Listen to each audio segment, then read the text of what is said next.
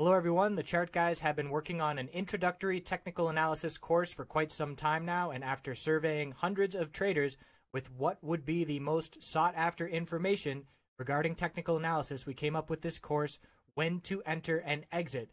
It covers over five hours of the basics on when to enter and exit, and we feel after watching this course, it will help build a foundation of technical analysis knowledge, which will eliminate a lot of the uncertainty in the world of trading stocks. So, the course outline, we go over the psychology of trading, establishing a game plan, the different indicators we use to signal a bullish and bearish entry, how to recognize support and resistance levels, poor entries, where traders make mistakes, exit targets, how do you know where to sell your trade, where to place stop losses, that's very important. Minimizing losses is what keeps you in the game long term my personal preparations, how I go about getting ready for each trading day, and then piecing it all together, utilizing all the information we just learned and how to apply that in the real world for making successful, profitable trades.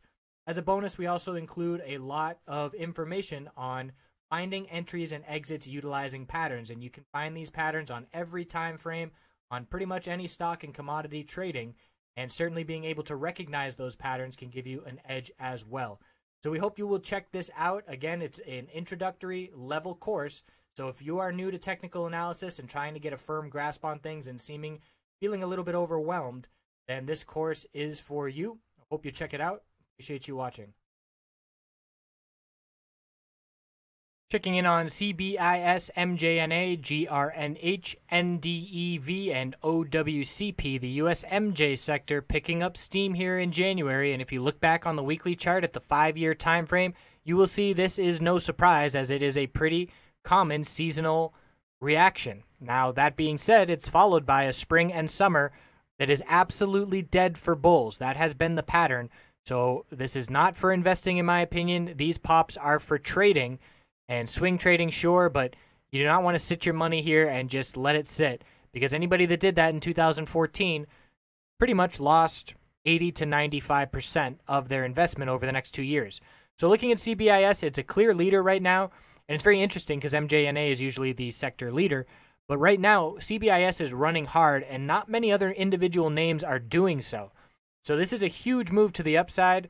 And we had a member today lock in 100% gain. Congratulations to him. That was all him loading back here on the drop from the sell the news reaction to the votes.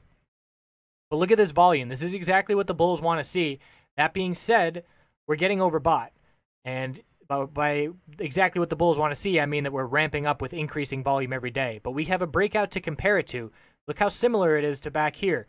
Increasing ramp up in volume, Great sign for the Bulls that this volume is much more significant than it was back then, especially the dollar volume, because back here we're looking at 84 million shares at about six and a half cents. Now we're looking at 130 million shares up at about 10 cents. So that's a significant amount of dollar volume. 13 million shares, or I should say 13 million dollars traded today, very roughly.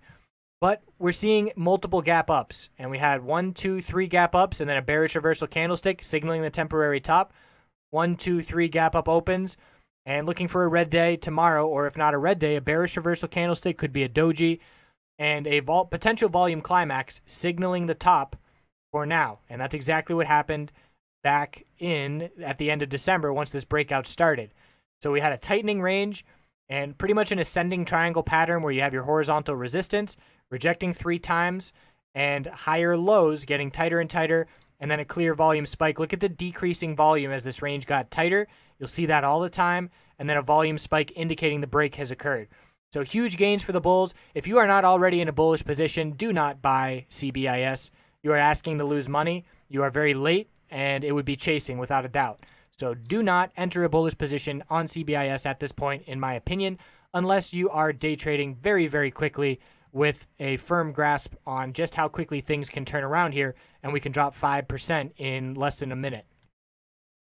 So from here, we'll be back testing the upper Bollinger Band as support. You can see on that first bearish day where we marked the top, we held that upper Bollinger Band support. So we need to update that at the open. It's going to be over 10 cents tomorrow. And in terms of resistance, we do have to zoom out multiple years, which is a good sign for the bulls, making back some of those losses since the 2014 pop Still a long way to go. We're not even halfway there yet. But resistance is up at 13 cents is the next clear resistance that I see.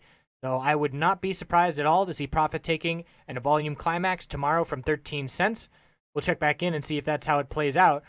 But the Bulls have done a nice job here on this this breakout, no doubt about it. We built support after the sell the news reaction in November and now higher highs. And CBIS stands out because it is one of the only names that has broken the highs from the vote or pre-vote I should say back at the end of October, start of November.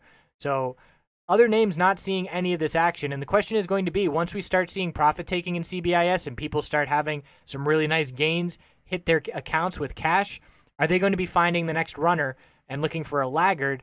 And are we going to see another move similar to this one? And we saw one that was close.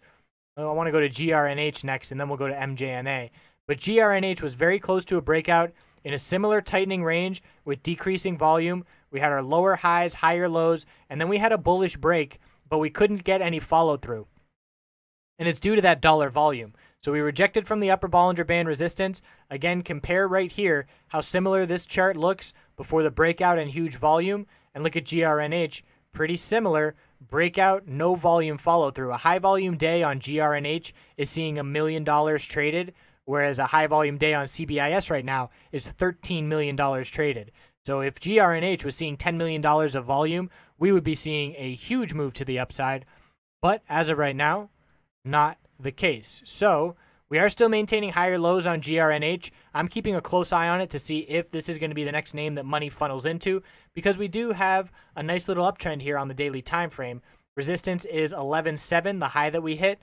And there is plenty of resistance to look back at from consolidation leading into that vote. Let's get the complete picture here, zooming out a bit. So I'm picking out resistance at 11.8, 13.1, 13.7, and then 15.9. And back here, we were seeing dollar volume of $2.4 million traded roughly. So we do need that volume to show back up, but the Bulls are in control of this uptrend over the past six weeks. Bulls want to see some follow through for tomorrow, a break of 10.6 and a move back up towards 11 cents. Weekly time frame really wants to close over 10.6, this 200 week moving average. You can see once we lost that level, we rejected one, two, three, four. Need to close above that level to be looking back at the highs from before the vote, which CBIS has already broken. That would be a break of 15.9 if GRNH were up at that level. So still a long way to go, must close tomorrow over 10.6 and turn this 200 week moving average into support to be looking good heading into next week. MJNA is not seeing any love. Bears are in control of the past few days, but Bulls do still have the uptrend over the past two months. Holding this middle Bollinger Band, you can see its key support, consolidation. We've held it a couple times. Tomorrow, that's going to be in the upper 16 cent range. And if we lose it, we're looking down at 13.5 as the next support to keep an eye on. So very interesting that CBIS has taken over almost as if a lot of people with a lot of money decided this is going to be the one we run now. And that's the way it's playing out. And the other name's not seeing much love. So consolidating on MJNA, you can see we're not near breaking the high 26.7, 267, I should say 268 from before the vote. We're still well below that level and still bullish without a doubt on the daily and weekly time frame, but not seeing anywhere near any of the bullish action that CBIS is seeing. And MJNA is the dollar volume leader usually. And let's see here, we're seeing about $3 million traded today. So CBIS certainly taking over the past couple of days, but in terms of consistency in dollar volume, MJNA is the sector leader. NDEV consolidating significantly after a, a huge run, multiple hundreds of percent. We saw a big bullish reversal candlestick yesterday, and we did not confirm that candlestick. So the bears are still in control. We're rejecting from exponential resistance. It's driving the price down, and we close at the low of the day, showing the momentum is favoring the bears into tomorrow. So key support, 59 cents. Bulls need to confirm a reversal candlestick to stop this consolidation. You look at the weekly time frame, that's a good looking weekly chart. Even though we've pulled back from 150 We've given back 50% in three weeks. You'd think that'd be dreadful, but you look at this chart, very clearly stair stepping higher. So the Bulls are trying to form a bullish reversal hammer this week. We close here or better tomorrow. Pretty much if we close, I'd say 72 cents or better tomorrow. We are going to see a weekly bullish reversal candlestick, but again, it has to be confirmed next week with some green follow through to resume this uptrend. So it's an important end of the week tomorrow for NDEV and an important week next week trying to confirm this reversal candlestick after a couple weeks of consolidation. OWCP is also consolidating, losing the upper Bollinger Band support. It's worth watching for a short term bounce. The most common pattern you'll see after a breakout is reaching an equilibrium, where you have the breakout, the high, the low of consolidation, and then a bounce to a lower high. And that's a short term trade opportunity. As of right now, 45 cents is support. Not an entirely convincing lower wick off of that support, but we can be scouting tomorrow. If 45 cents holds, that would be our stop level.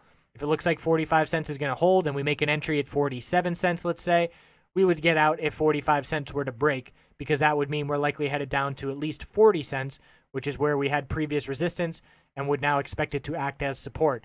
But the weekly time frame is a clear bearish reversal doji, so we need to be cautious, anticipating further consolidation next week, which is why any bullish trade from here would be short term because all of the gains that had been seen and realized over the last two weeks. Consolidation is likely, and the weekly chart candlestick showing that with that doji at the top of the uptrend. So keeping a close eye on GRNH to see if money is going to come there after CBIS. And again, I do feel that GRNH would be a decent candidate just because the dollar volume needed to run it wouldn't be anywhere near significant. If we saw, like I said, if we saw that CBIS dollar volume in GRNH, we would absolutely be breaking out. We just don't have that dollar volume. Today's total volume looking like about $500,000 traded. So if that were $5 million, clearly the Bulls could run it into breakout mode, but need that volume to show up. So we'll see how the week wraps up. Definitely need to be picky and choosy here with these individual names, not like the Canadian sector where we see every single name running in breakout mode, as it looks like, like I said, it looks like it could be individual names being decided on to run individually. As CBIS, no one else currently looks like CBIS right now on the daily time frame. So I appreciate you watching. We'll check back in at some point in the near future. Have a great night, and please don't invest in these names that are breaking out. You want to have a clear exit plan because they are going to pull back significantly. The last breakout for CBIS went from 7.3 3 cents all the way down to 5.3. So anyone in that name lost about 30% in a few days. So they drop just as quickly as they go up. Exit plan is needed. If it hits this price, I will get out, and then you need to stick to it. Otherwise, you end up in a situation where it's 2014 and you watch your money slowly drip away, and nobody wants to be in that situation. Thanks again. See you soon.